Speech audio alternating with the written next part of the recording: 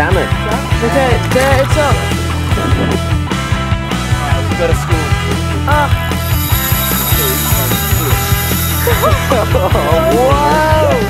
Alright, got a little buddy here.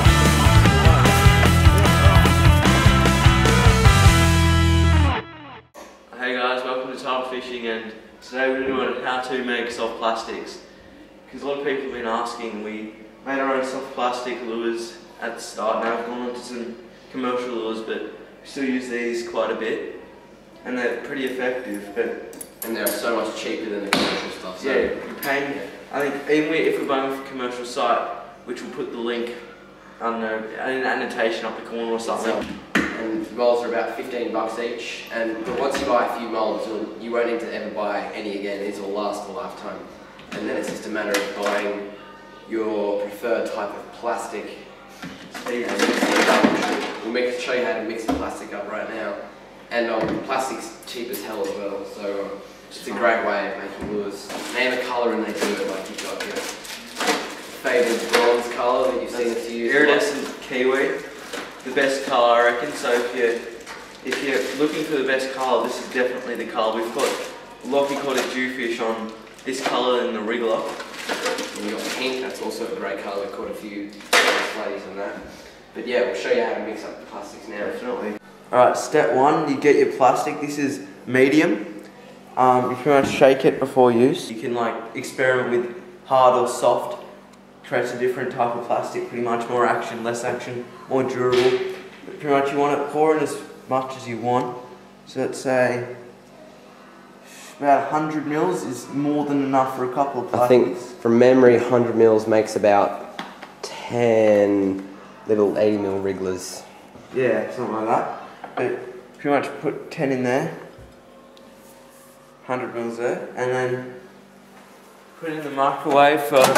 You want to, You don't want to put it all in one hit because otherwise it just burns and smokes everywhere. and It's crappy. So 45 should be enough to start, and have a an old knife ready that your parents don't care about like this. Yep. A really butter knife that nobody cares about. Alright, so it's been in for 45 seconds. You want to mix it. Yep, that should be enough.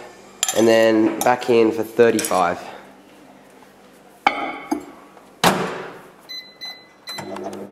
Alright, now it's been in for 35. It's starting to get clear, you can probably see.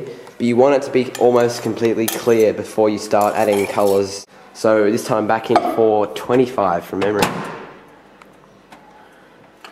My two doesn't work on my thing, so it's Oh. 30. yes, it's getting clear. Alright, that's clear. And an important thing is you want to do it in a really well ventilated area because the fumes do smell like crap. Yeah, it smells. Completely clear. So that's We've got the door open, there's a lot of draft coming through there. We do one more because you want it to get into kind of a maple syrupy mixture. Like you don't want it, you don't want it like this. This is pretty much just water. Look. Or you could just leave it to cool down for, I don't know. That's probably pretty good actually. Yeah, now it's cooling down a fair bit. So now you add your colours. As you can see, this is only like probably a third of the colours that you can get. Oh, You got your less than a pinks, third. pinks, silver glitter. That's the fabled iridescent kiwi color. That one there. You got purple glitter, gold glitter, white. I think that's black. Yep, and some kind of bright, bright red color. You got your green, and then after you color them and settle the lures, you put just leftovers in Ziploc bags. Good idea. So you don't waste so you, anything. So you don't waste anything. You and then reuse these. you can dip them. This is a scent. These are all scents. So you dip dip your lures in there, shake all the crap off, and leave them to dry on some paper towel, and they smell like Garlic and garlic and a seed. I can't remember what that one is. I think that's another garlic in the red actually. yes. Anyway, Alright, now I'm gonna add the colour. You do not want too much, like pretty much a tap, a pinch. That's enough to start with. You wanna mix it in. We might add a bit of silver just for the flashes in this clear weather. Again, there's thou like, or maybe not thousands, but hundreds of colors and other additives that you can put in. I think there's even glow in the dark stuff and maybe even a few holographic things. And you want to overfill your lure molds just a little bit because the plastic does shrink in the mold as it cools. That's a bit better.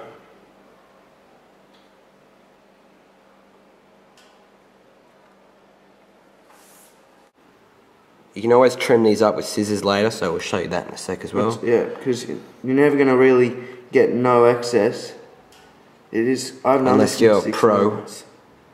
I've known this in six months, so So now you want to leave them to set for about 10 minutes in the mold and then take them out and let them sit for maybe another 5 minutes. So it's been about 10 minutes. So you just take them out one by one. And that's looking pretty sweet already. And then with scissors, you just trim the excess off those sides there and that little bit on the tail. And then rig that on a little one quarter or one eighth jig head for however deep you want to fish. And that's looking pretty good as well. And yeah, that's pretty much it. So, oh man. It smells terrible.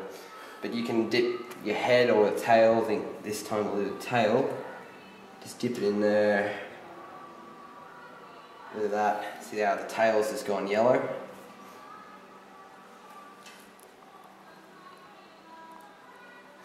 So there you go, and that will stink once it sets. I don't know where I'm going to put it. oh, it smells. Can you smell it? It smells terrible. That's how you make lures. And thanks for watching Tidal Fishing TV.